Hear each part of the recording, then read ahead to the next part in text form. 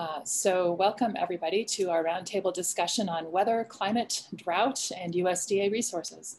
This roundtable discussion is part of the University of Wyoming Extension Agriculture and Horticulture Online Convention.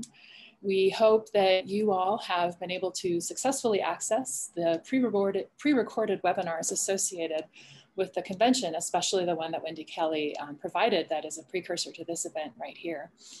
Um, and we also hope you've been able to access the other live Q&A sessions that have been going on.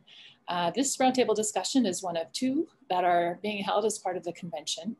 Um, but before I get started, um, before we get started, I should introduce myself. My name is Christy Hansen. I am uh, the University of Wyoming Water Resource Economics Specialist with the University of Wyoming Extension, and I am based in Laramie. And I'm the moderator for this session. And I would also like to take this opportunity before we really get started to recognize our sponsors for this event and to thank them for their support. Um, you can see uh, that we have a list of sponsors that are rolling um, in the window labeled host. And so our sponsors are the Farm Bureau, Rocky Mountain Farmers Union, the USDA Farm Services Agency, the Wyoming Department of Agriculture Mediation Program, the Wyoming Livestock Roundup, Wyoming Stock Growers Association, and the Wyoming Wool Growers Association.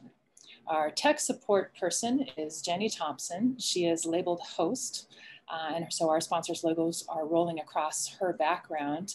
You won't see Jenny as she works behind the scenes to keep things working smoothly for us, but you may hear her from time to time uh, because she and I will both be monitoring the Q&A window for your questions so that we can get your questions answered um, as smoothly as possible by our panelists.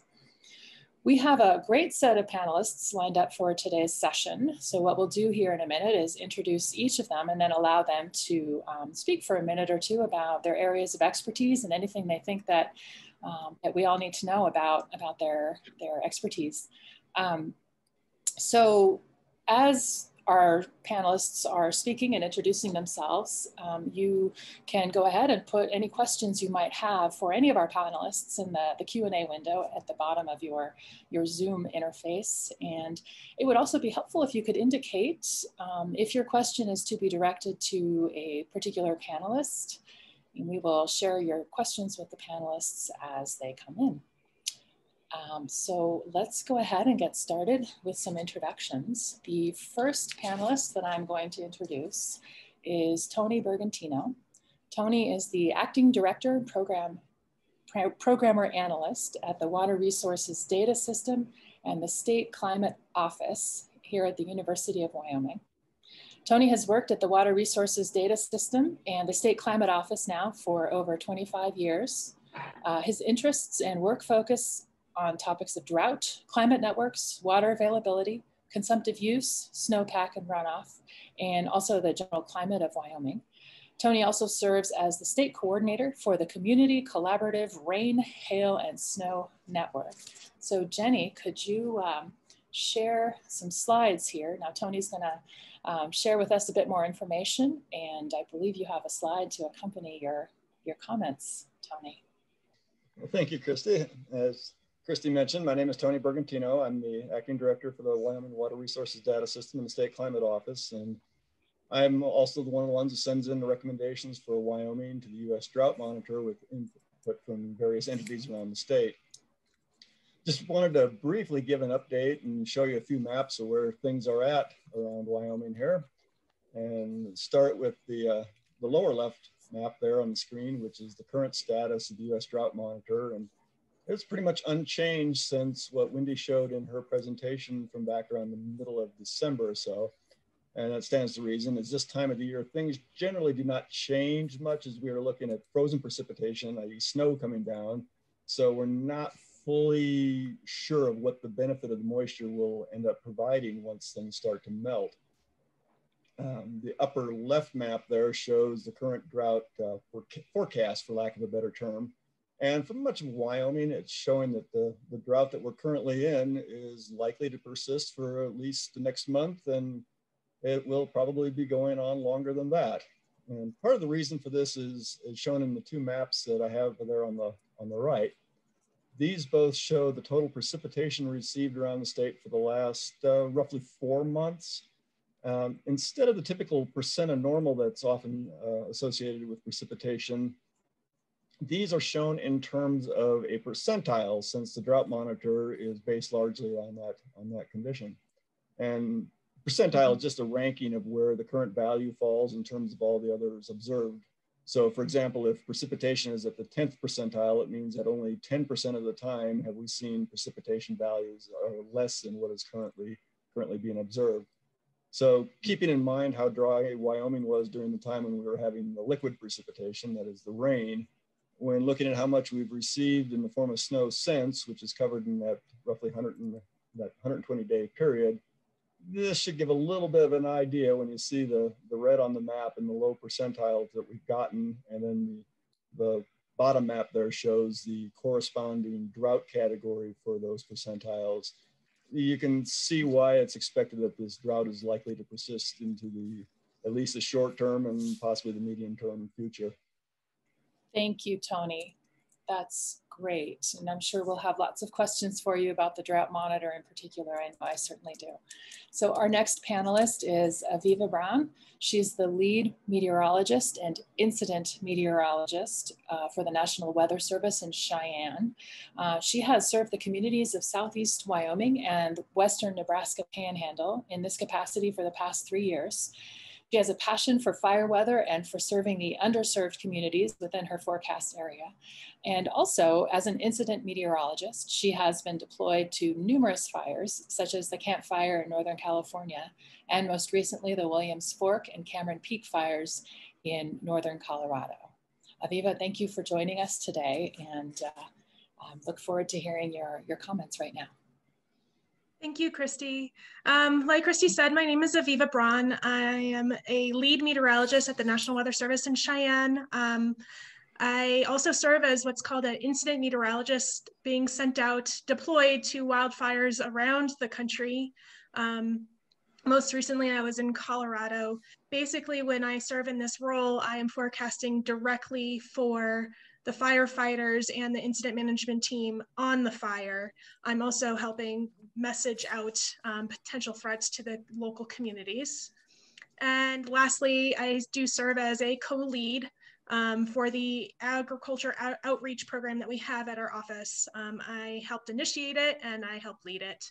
Um, so I wanted to speak specifically to a few things. I'll just touch on a few bullets here. Um, we are in the midst of a strong La Nina event. I don't want to get too much into this, but that and um, our previous bark beetle infestation led to an active fire weather season in the Central Rockies. Um, we had fires here in Wyoming, such as the Mullen Fire, um, and then fires um, just south of our border that were quite large. Um, and we always see an up, uh, uptick in large fires during La Nina years, or seems that there is a correlation between the two. Um, we are looking ahead to a potential pre-green window, although um, we're hoping that that green is actually green. Um, there is some concern looking ahead that if we don't quite make up um, precipitation uh, in the spring um, for the next fire weather season. Um, I want to talk a little bit about uh, the next month. Um, that's about as far ahead as I can go with forecasting, and it's just a general forecast, not a specific forecast.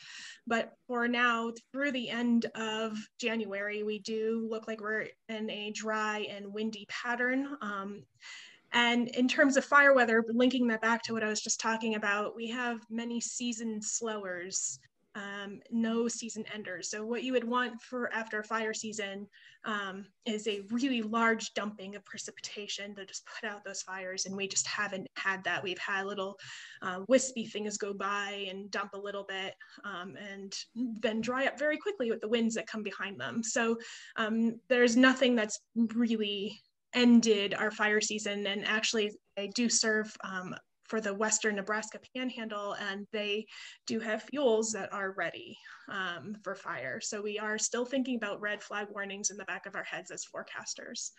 Um, lastly, um, we I do serve as a co-lead um, for agriculture agriculture program. Um, and basically we're trying to widen our reach and speak directly to our producers and our agricultural community members and helping them protect themselves and their property by letting them know what's coming um, in a timely manner. Um, so some things that we have done already, um, we've held interviews with local papers and radio stations. We've published in newsletters such as Cow Country and Conservation District newsletters.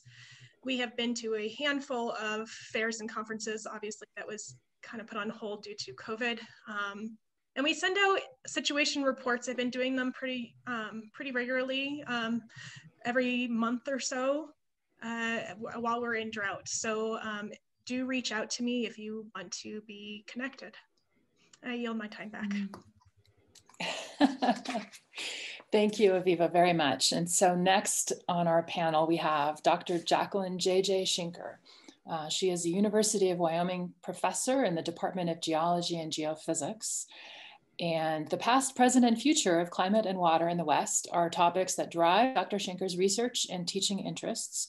Her research focuses on seasonal climate variability in the Western US, how the atmosphere moves and operates during extreme events such as droughts, ENSO, and early snowmelt events, as well as the impacts such as extremes, uh, excuse me, as well as the impacts that such extremes have on water resources, vegetation, fire, and environmental disturbances in the region. Welcome, JJ.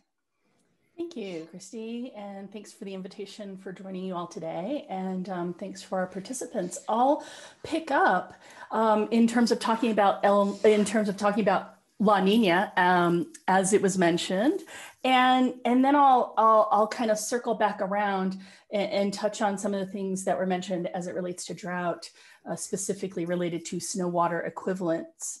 Um, so here I have on this slide on the left-hand image, uh, the precipitation forecast, uh, three month seasonal precipitation forecast from NOAA for January, February, March of this year.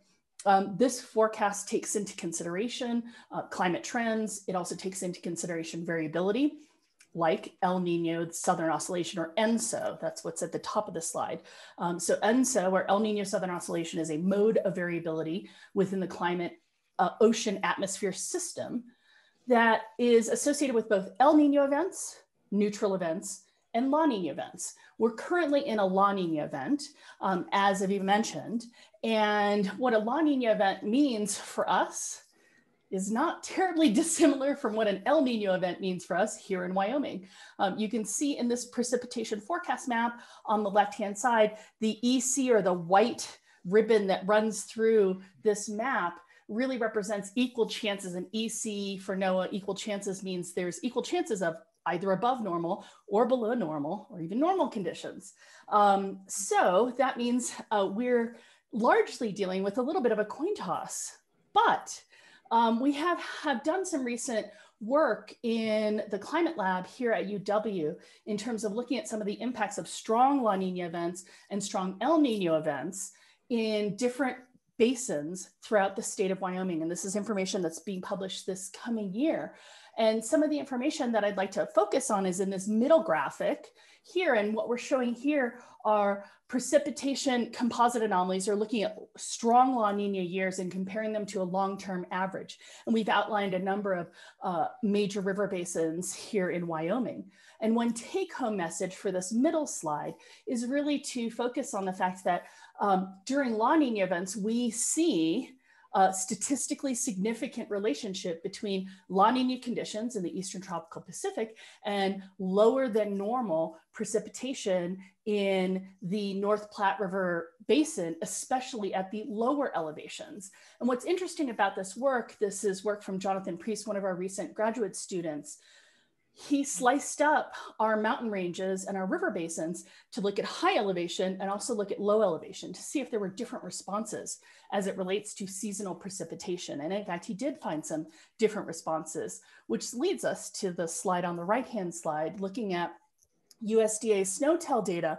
And this is a nice circle back to Windy's presentation as she was showing SNOTEL uh, current snow water equivalent or SWE percentage of normal. You can see what, you know, the red kind of area that pops out is the lower Platte River Basin and that it is 49% below normal in terms of its snow water equivalent.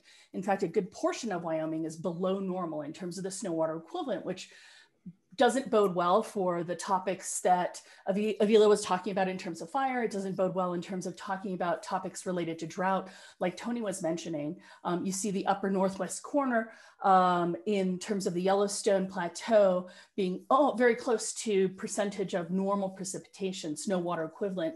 Um, that area is really influenced by precipitation inflow from the Pacific by way of the Columbia River Gorge and the Snake River Plain. So they get a bunch of, usually uh, a lot more precipitation than most of the rest of the state of Wyoming. So um, I'll leave it there for now and I welcome questions um, from any of our participants moving forward. Thanks a lot. Thank you, JJ. And our next panelist is Annie Bryce. Uh, Annie is a state program specialist for the USDA Farm Service Agency uh, she is based in Casper. Annie assists in the administration of farm bill programs, and her primary focus is providing disaster assistance to Wyoming farmers and ranchers. Welcome, Annie. Thank you for having me. Um, I apologize that my video is not working. I have played with it oh. while um, here for a little bit, and it's a fairly new computer. I can see that the camera, like the slide is open, but clearly there's no picture. Yeah, um, we, we, all. But thank you for having me. That happens absolutely. Um, as you all know, ag- I'm sorry. Mm-hmm. No, please go ahead. Thank you. As, as, you all know, agriculture and the weather they're very closely tied. Um, mm-hmm. and with the 2008 Farm Bill, the USDA Farm Service Agency moved very. Um, a lot of their programs moved um, specifically to disaster programs. And with that, they, they wanted a way to tie the programs and, and the availability of those programs to some actual data. And so a lot of those programs were tied directly to the National Drought Monitor. In particular, um, the three programs that are listed on this slide, livestock forage disaster is, is currently active and, and it's a really big one. Back in um, 2015, we had put out a, a, a LFP payment for the, the retroactive years of 2012 and 2013. And we had put out just millions and millions of dollars across the state. This year, we got LFP again, and LFP can be triggered by fire, but it also is triggered by drought. Um, it is triggered by the, the National Drought Monitor. So, in order to qualify for LFP, you have to be a D2 for eight consecutive weeks, a D3 at any point, uh, a D3 for four consecutive weeks. Uh, okay, so uh, I'm sorry, a D2 for eight consecutive weeks has a payment factor of one. And then it extends um, up until, depending on how deep the drought is, if you're if you're D4 for four non-consecutive weeks, it would be multiplying that payment times five. But the payment rate for 2020 was 3189. So if you could imagine timesing 31.89 times five times however many cows you have. There's a significant amount of money that goes out in the state for that program. It's comparing feed losses um, and, and um, livestock feed needs. But if producers have non-irrigated pasture, which is of course directly affected by the weather, um, and, and have eligible cattle, then, then Farm Service Agency is putting out large amounts of money this year and in previous years for livestock forage, which is directly tied to the National Drought Monitor. Another program that we don't always think about is emergency livestock assistance. We had a, a, previous emergency program called Emergency Conservation Program that used to do water hauling in drought situations, but it's been absorbed by the Emergency Livestock Assistance Program, ELAP. And with that, you have to be a D3 or a, deeper drought in order to qualify for livestock water hauling assistance.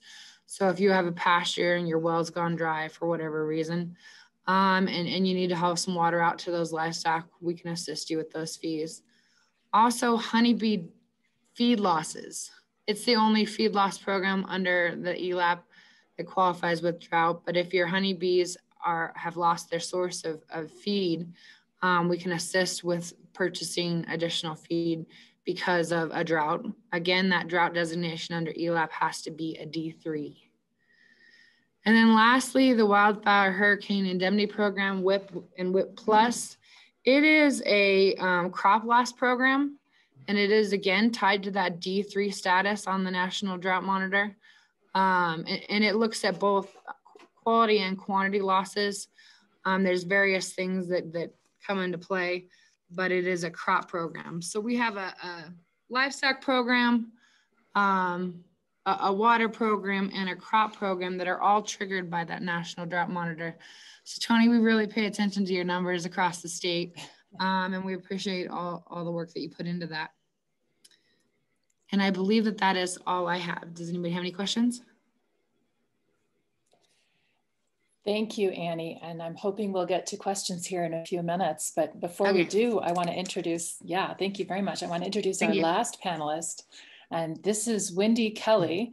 Um, she is the University of Wyoming Extension and USDA Northern Plains Climate Hub weather variability and ag resiliency specialist and regional extension program coordinator, which officially makes her the, the person with the longest title here on the panel. Um, and Windy, I just want to make sure you all know, has played a crucial role in bringing this panel together. Um, she has made my job as a moderator quite easy and um, her her role of bringing people together in this topic um, cannot be um, uh, cannot be overestimated. It's just remarkable what she's done in this space. And so, Windy, I wonder if you have a few comments before we, we turn to questions from the attendees.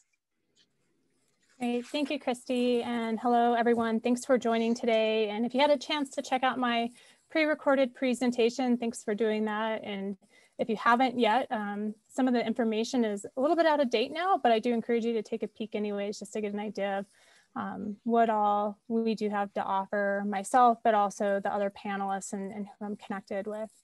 So as Christy said, I'm a regional extension program coordinator. That's one of my titles and one of the hats I wear.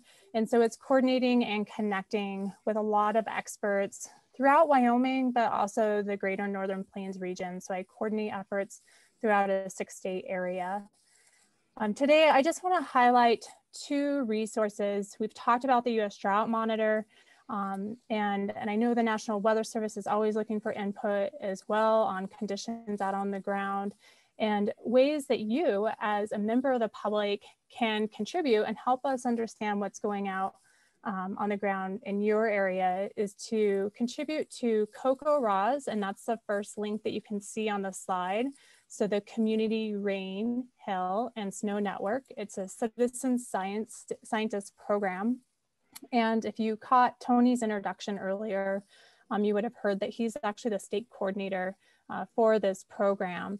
So it's a volunteer program where you can record precipitation that falls um, at your, for me, it's kind of out in my driveway. Uh, near the driveway, I have my CoCoRaHS rain gauge, which is a standard rain gauge and I monitor and record precipitation or lack of on a daily basis, um, or try to on a daily basis. Sometimes I'm not home, so it doesn't happen. Um, and those recordings include the zero. So if I didn't receive any precipitation, it's really important to record that. This information goes into not only Tony, but the National Weather Service can look at it, as well as the US Drought Monitor authors. So it's really helpful for us to um, see how much precipitation is falling through, you know, on, out on the landscape throughout Wyoming, particularly in such a rural state. The other um, monitoring or observer tool I want to mention, a reporting system, is the Condition Monitoring Observer Reports. And I mentioned this in my presentation and the hyperlink, um, it's quite long, but it is on the screen right now. And it's referred to as CMOR or some people call it Seymour drought, which I try to stay away from because um, I don't want to see more drought. Um, but it's the CMOR system, and this is not only for agriculture, um, but recreation, as well as other um, industries or sectors. And this is a, a place where you can go in and you can document and share impacts that you're seeing out on the landscape not just related to drought, but also if conditions are too wet. Um, so it kind of goes from like extreme dry to extreme wet and everything in between. And I want to mention this because it's a, a place where you can also upload um, photos for us to understand the conditions in your area. So on the screen, kind of the lower right part of the screen, you can see two pictures here. Um, they're from our restoration project, so a little bit separate, but I wanted to show the value of having comparison photos of a place. And not knowing what um, the area looked like before the restoration, we can't appreciate how far it's come since the, the reclamation um, or restoration project took place. And I, I wanted to share these because not only for the CMOR Observer system, but also, you know, emailing um, myself or Tony or others pictures to say like, hey, it's really dry here. Look at this picture. Um, we don't know your pastures or we don't know your um, stock water tanks and what they usually look like. And so having comparison photos of what it looks like in a good year, a normal year, or a bad year or a drought year um, is really helpful. And you can upload comparison photos in that CMOR system.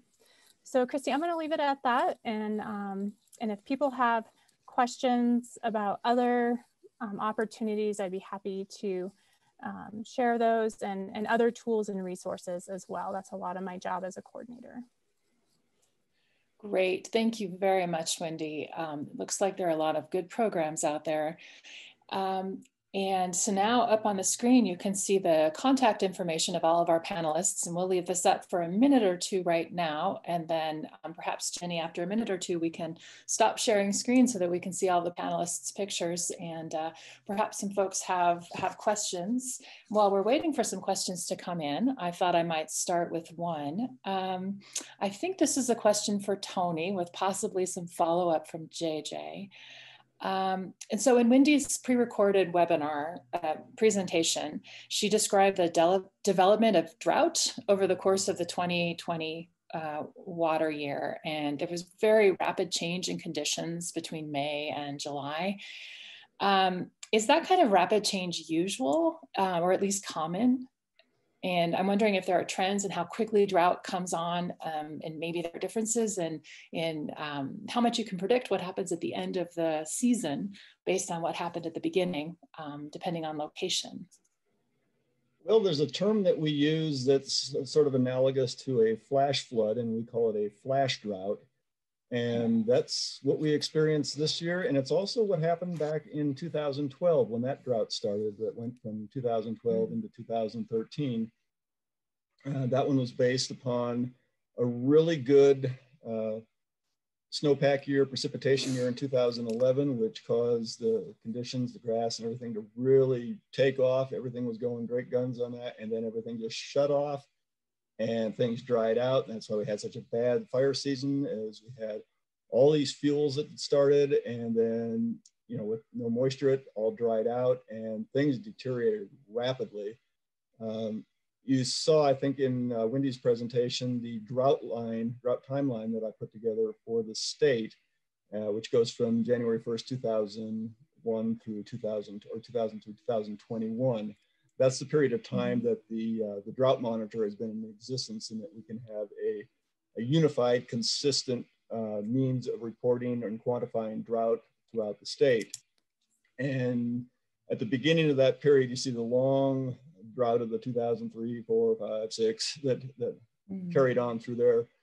And then you, you come down to these nice conditions where things are not as bad, uh, things are leveling out. And then, like I say, in mm-hmm. 2012, you get that spike coming up.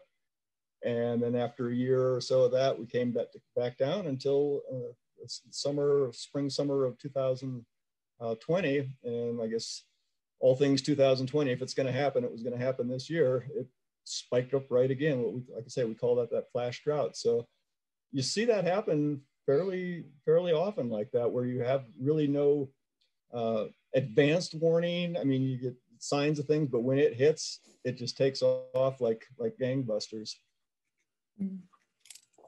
Yeah, great, thank you. And JJ, I'm wondering if you have any additional comments on that point. Yeah, thanks. I'm I'm I'm glad Tony that you mentioned 2012 because it's a really great example of uh, an additional term that I want to throw in here, and that is the term of variability. Um, so, you know, Tony mentioned 2012, and 2012 was the single driest year across the state in Wyoming um, in record history. But 2012 followed 2011, which was the third wettest year in Wyoming. So just just those two back-to-back years, I think it was a really important point to make about the notion of variability um, which is something that we here in Wyoming, in our latitude at our particular location, not really near any major water sources or any, any topographic features that deliver moisture from major water sources. That means that we're very much um, at the mercy of the polar jet stream and the, and, the, and the variability that occurs within the polar jet stream. And um, I think what I'm going to do is I'm actually going to share my screen to make one additional point here. And what I'm showing here is a map on the right hand side um, and, and then a sort of a, a, an analysis of the orange values in that map. What I did was here we were looking at a bunch of National Climate Data Center uh, climate division data um, that provide precipitation for each month. And we looked at each month's precipitation compared to the annual total. And, and Christy, this gets at the question, you know, in terms of, you know, can one month lead to another month? And, and I think one mm -hmm. thing mm-hmm. that's really important for us to understand here with our high variability is that May in this area with orange, May is our month of peak precipitation but that peak precipitation is really only accounting for, on average, 15% of our annual total precipitation. So mm-hmm. each month that we're looking at here is contributing a very small percentage, you know, somewhere between 10 and, you know, 5 and 10% precipitation each month. So in other words, if we have a dry month, that's not good news for us. If we have more than one dry month, that's even worse news for us. So a little mm-hmm. bit of drought in any given month can set the stage for you know more of these kind of cascading uh, you know abrupt events that Tony was describing. Um, but I just want to you know reemphasize this notion that there's a high degree of variability um, within the system in general, regardless of whether we're talking about El Nino or whether we're talking about trends in climate. Okay, wow. Thank you very much for that explanation. Um, if I could throw something in here.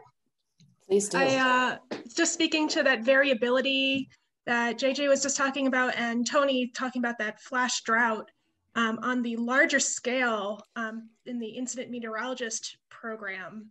Uh, we went from our 10th slowest year deploying out to wildfires at the beginning of fire season to our fourth busiest year, um, starting really in September when we had 37 incident meteorologists out at one time, which hit some records for us.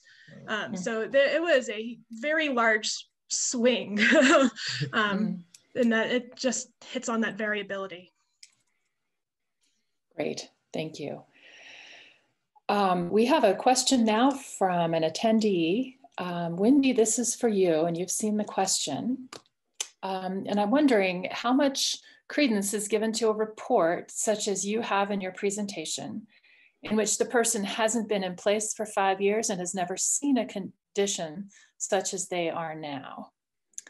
I'm wondering if um, I think I would need to follow up a little bit with this attendee to find out a little bit more about about what they're wanting to to ask you about. I'm wondering if um, if I should do that or if you have a uh, an, an, idea of an answer. Yeah, thank you, Christy. And I, I do see the question, and so mm -hmm. I mm-hmm. think um, you know the question is in my presentation.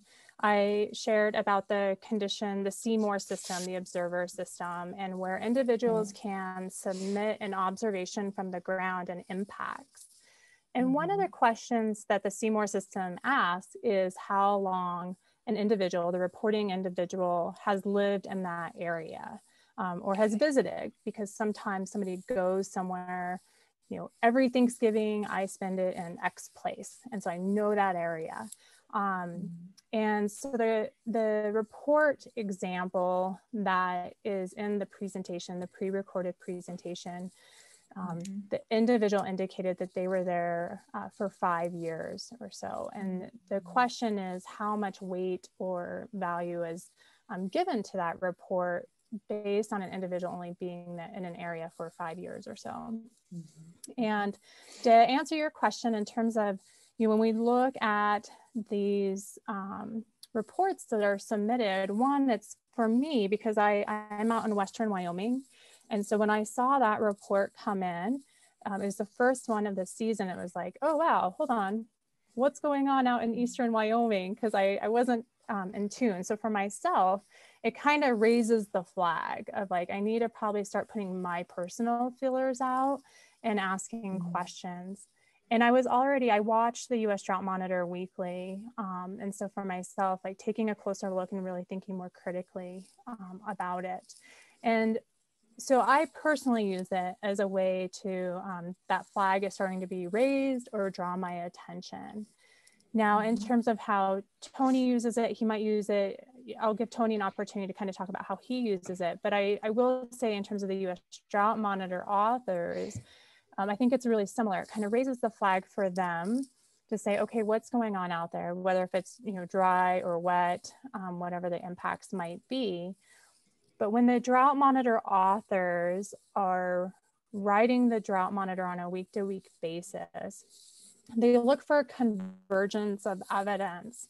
So there might be a report in the CMOR system about impacts out on the ground, but they're also looking at the drought monitor authors are also looking at a lot of um, quantitative data and looking at the full story. And there needs to be a convergence of evidence. So in terms of how it's weighted, I can't mm-hmm. speak exactly um, from their perspective, but I do know that they're looking at a lot of data to inform their decision on on the final um, drought monitor map. And, and Tony might have more to add for how he uses those observations in the recommendations that he makes on behalf of Wyoming.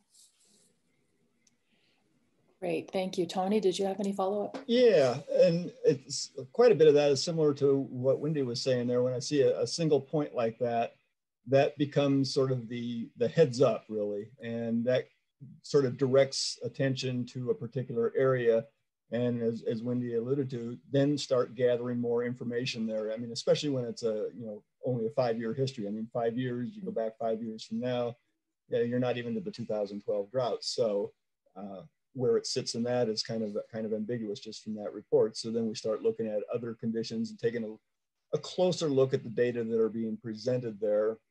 And then as, as Wendy also said, it's not just one parameter that's looked at when you're you're considering a decision to make as far as a, drought category, either going up or down in an area, you look at a multitude of, of indices.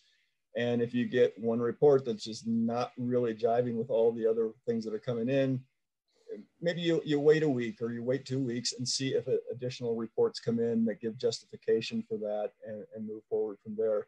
But a single report by itself in a, in a vacuum there's not a lot you can do with it when it's when you're looking at only a five year period. I mean, doing the math on that, that, would take it to the 20th percentile at best, which is you're going to be looking at D1 at, at, uh, at most.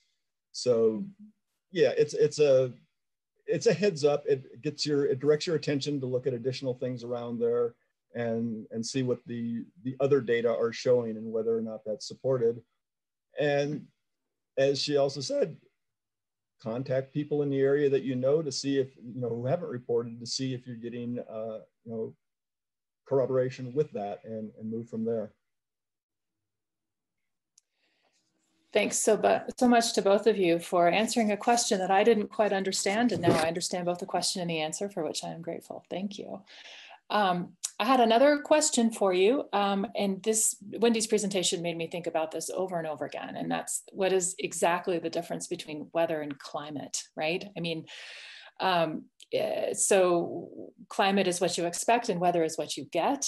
Um, and I, I, guess it must have something to do with the quality of the forecasting, perhaps. And I'm wondering, um, I think Aviva and JJ, you might, might, both have thoughts on this, and you're both laughing at at, at what I've said so far. Which oh which no, not laughing. Like to... Just I just love questions like that. But I'm going to defer yeah. to Aviva because she's our uh, uh, sh- she's our public representative for the National Weather Service.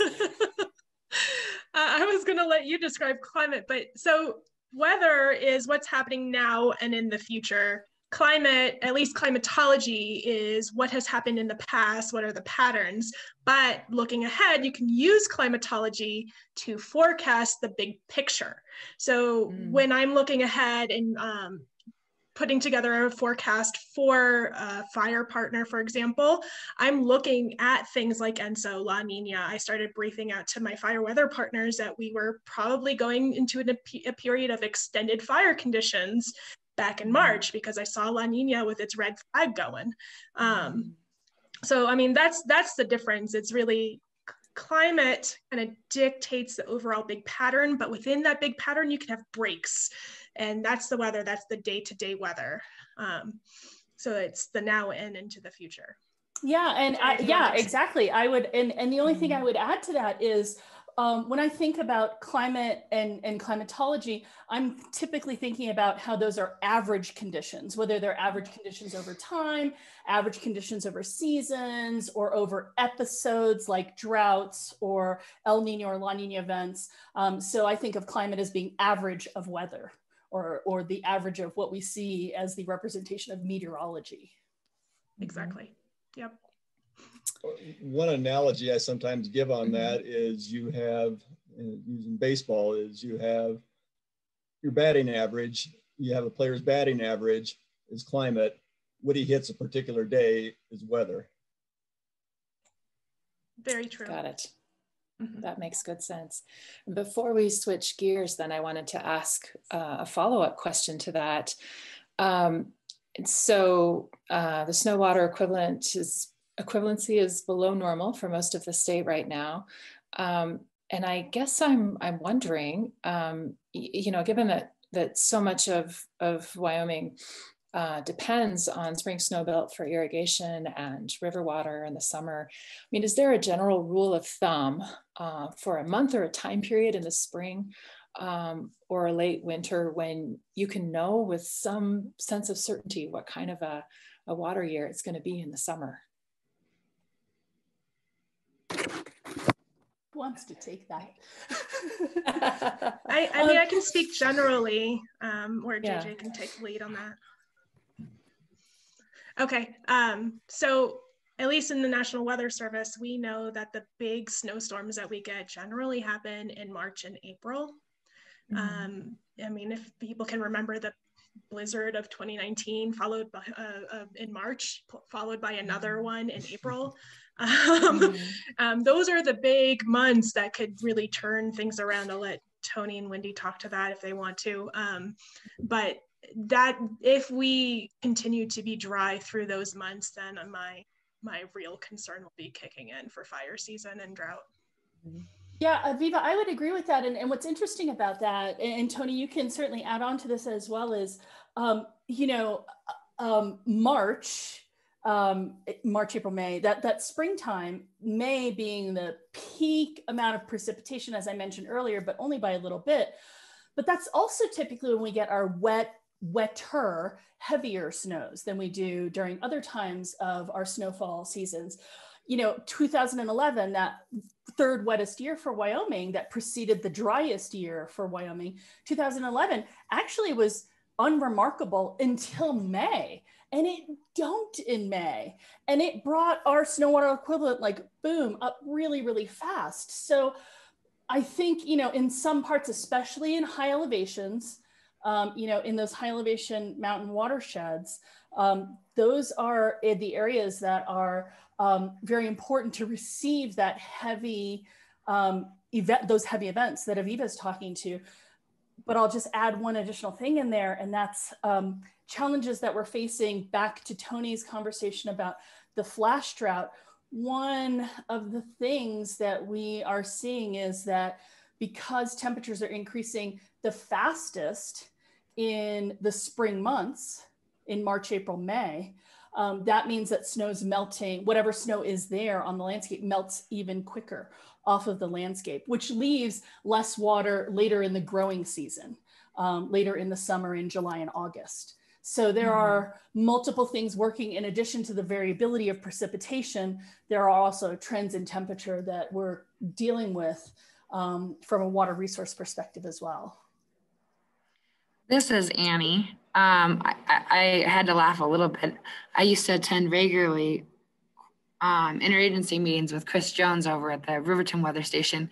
And his joke always was that he would say equal chances. So then he's never wrong with the weather. So equal chances that it could be terrible.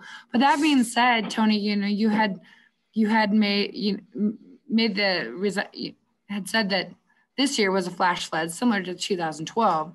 In 2012, really that drought continued on through 2013. And so, so when you when you say flash flood or, or flash drought, um, we could be looking at a, a multi-year event. And Annie, I'm, I'm glad you spoke up because the next question I think is for you. Um, so this is from, um, from one of the attendees. Um, the D0, D1, D2, et cetera levels were mentioned for the FSA programs. Um, so for our listeners who did not see Wendy's pre-recorded uh, presentation, I'm wondering if you could remind us what those, what those, um, those drought levels indicate. Well, Tony actually is um, determines those drought levels, but as far as FSA programs and availability, um, we watch that National Drought Monitor, which is updated weekly, and and and two of the three programs that I mentioned, um, the WHIP and the WHIP Plus and, and the ELAP, they both need a a D3 determination, whereas the LFP can trigger after eight consecutive weeks at a D2. Is that what was that your question? I'm not um, sure. yes, thank you. Yeah, and I'm wondering if Tony, could you um, follow up with a little bit of a, you know, what is the difference between D0, D1, and D2? Yeah, I can get into a little description of what those are. There's there's the the four rankings of actual drought and then the precursor to drought, which is considered the D0 or abnormally dry, and they go from uh, D0 obviously to D1, D2, D3, and D4, and those are uh, moderate, severe, extreme, and exceptional droughts. And those are all based on various levels that you see in these indices. Uh, I mentioned the percentiles earlier when, uh, when we opened this up. The, the D0 is if you have your indices in a uh, generally 20 to 30 uh, percentile. Uh, going to D1, you'd be in the 11, you know, 10, 11 to the 20th percentile. D2 is in generally from the 5 to 10. And then two to five is, so I mean, if you're down there in the, the two to five percentile, then you're looking at D3. And then if you're looking at D4, the exceptional drought, you're looking at zero to two. So two percent of the time you're seeing, or two percent or less of the time you're seeing conditions uh, equivalent to what you'd be seeing in an exceptional drought. And that's on the percentile basis. The other indices have different uh, cutoffs that are similar to that, but it, it's really based on that that ranking of the percentile within terms of what your your generally observed values are for for a given parameter. Got it. Thank you, Tony. And then to follow up a bit more, Annie, I'm wondering um, to to qualify for uh, the livestock forage program, for example, do you need to be an existing client uh, with FSA, or what is the timing on that? And and um, how how is it that producers you know figure out that that they do qualify? That's, uh, that's based great, on yeah. That's yeah, a great question. Um, if you normally don't participate with fsa i would obviously encourage you to go in and and put your name and address and contact information into the system so that we can at least get information out to you when it does become available. Mm-hmm. so in 2020 the national office um, didn't differentiate um, county by county what our grazing seasons were for Wyoming. Um, and in the system, the livestock forage system, it can't differentiate between growing and grazing season. Uh, before, a lot of our programs were tied around that grazing season, and, and we had the grazing set, season set similar to the growing season, which, you know, obviously we have a lot of pastures that are, are grazed outside of the growing season. In which case, we had adjusted numerous states um, Albany, Bighorn, Carbon, Fremont, Hot Springs, Lincoln, Natrona, Park, Sublette, Sweetwater, Uinta, and Washakie, all the 365 day grazing period, which then made a lot of these programs available 365 days a year.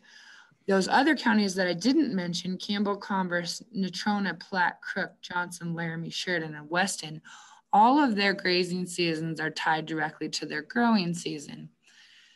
So normally LFP, it needs to be triggered within your grazing season. So the whole state was defaulted by the national office in 2020 to 365 days, which means that Weston and Crook, for example, who come November and December, um, spent eight consecutive weeks at a D2, triggered LFP in, in November and December. Um, all the other counties in Wyoming, aside from Park and, and Teton, had triggered earlier in the year. But typically, in a year where those flags are set correctly by the national office, the only counties that are going to be triggering LFP all year long are those counties that I first spoke about. Um, in, in which case, the drought monitor it, it could trigger at any time. If if they have eight consecutive weeks and they hit that in December, of 2020, for example, like um, I believe it was Crook that hit it in in December, um, although it could have been Weston. Um, anyways, they'll trigger that and they'll be eligible for one month of payment in December. Mm-hmm. Otherwise, you do have to trigger, you have to hit those eight consecutive weeks, or you have to hit D3 at some point, or you have to hit D4 at some point within that, that growing season. Um, and if you do, as soon as you do, then that program becomes available. LFP has a deadline of 30 days after the calendar year. So this year, January 30th falls on a weekend. So LFP for 2020, the deadline to apply for that program is February 1st.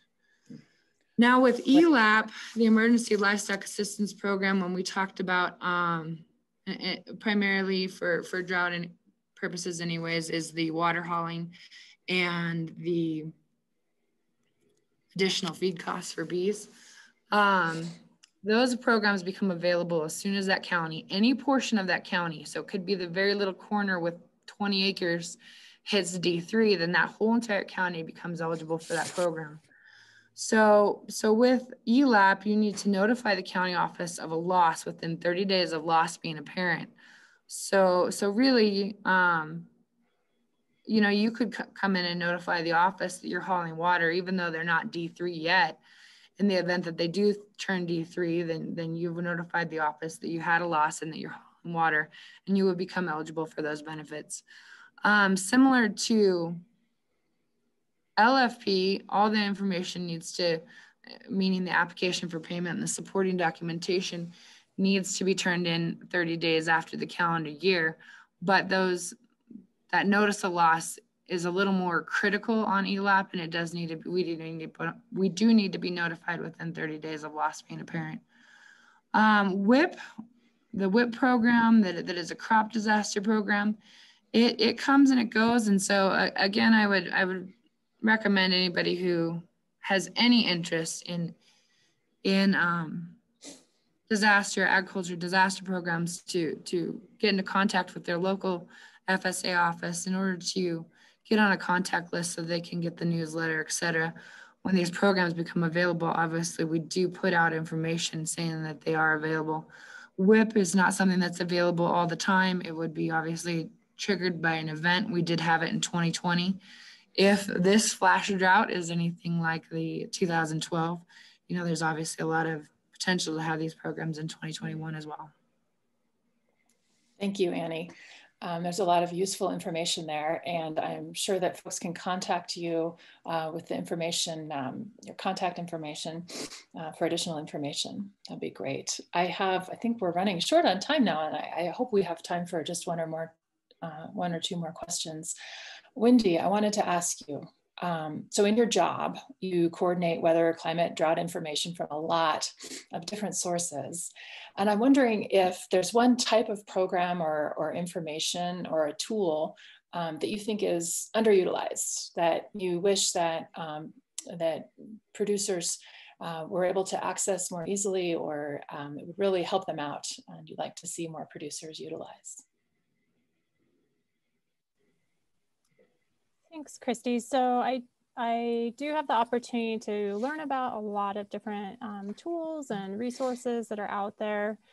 Um, I will say that one of my um, favorite kind of one-stop shops is uh, the Western Water Assessment, which is a, a group of NOAA. Um, so Western Water Assessment, they have a dashboard that I use and, and Tony has a similar one that I also use um, that is is really handy and I apologize, I'm trying to navigate uh, to share my screen so I can show this and pull it up. Um, so it's a nice spot where you can go and um, stay up to date on current resources without having to track a bunch of websites. So I'm sharing my screen now. This is the, the Western Water Assessment. Again, it's a, a part of NOAA. Um, and you can scroll down and you can see some of the information for recent temperatures and precipitation um, and click on it, zoom in.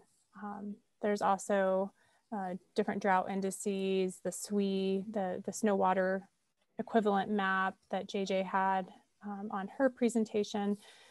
So this is a nice, just kind of one place um, to go as, as well as Tony's website and the National Weather Service. Um, but I wanted to mention WWA since they're not on today. A mm. tool, another tool I want to share um, just real briefly that some folks may not be aware of yet. It's called the Grassland Production, Production Forecast or GrassCast.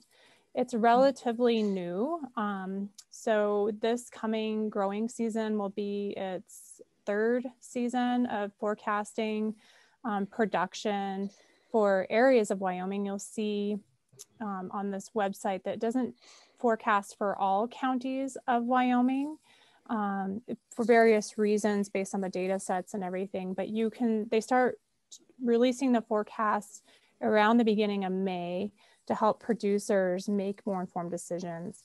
And what it is is, is a set of three maps um, and suggesting based on the amount of precipitation we've seen so far in the um, water year and what the forecast so for example the forecast that jj had and or the outlook in her um, presentation on the left hand side with the equal chances and she talked about it takes into consideration all of that and um, gives an idea of how much uh, production an area or a county might see based off a percent um, historically. So it's a great tool. Um, I'm not explaining it super well, but there's a lot of great information on their website, which is grasscast.unl.edu.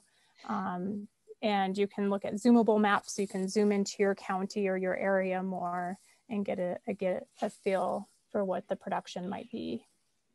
That looks great, Wendy. Both of those look like really uh, useful resources and user friendly as well. Um, thank you for that. And we have um, time for one more question. I think this is from Kathy, who asks, oh, this is a big question. We need more than two minutes. Um, have you seen changes in the frequency of drought over the years? Are we experiencing drought any more frequently now than we did in the past?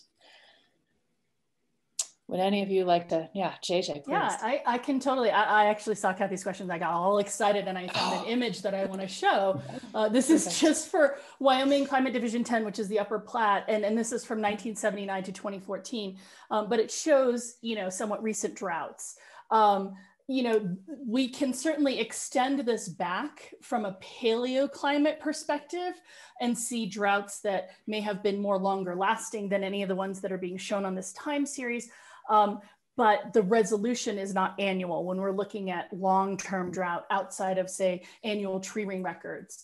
Um, so my short answer to Kathy is not necessarily the frequency, it may not necessarily be changing, um, but one thing I'll point out here, while we're looking at 40 years worth of data, um, and it's not enough to say uh, from a statistically significant perspective, um, changes in temperature may be actually leading to deeper droughts, which is what we see towards the end portion in the 2000s um, in, in, terms of this record. So not, we don't see so much in terms of changes in the frequency of drought. And I'll emphasize my, a, long-term soapbox issue of, uh, I don't talk about droughts on cycles because droughts are not part of cycles.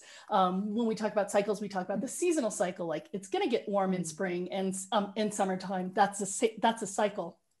Hmm. But because we see changes in temperature, that may be sort of amplifying some of the things that Tony has talked about in terms of, um, you know, the flash droughts um, with drying in early spring that we are seeing in across Wyoming and, and across much of the West.